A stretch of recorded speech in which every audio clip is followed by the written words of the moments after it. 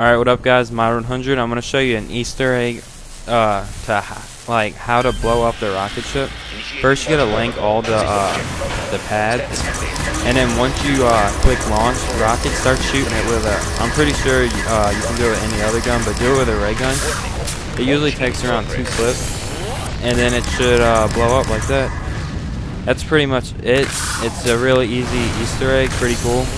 So. Um, yeah, thumbs up, subscribe, and yeah, peace out.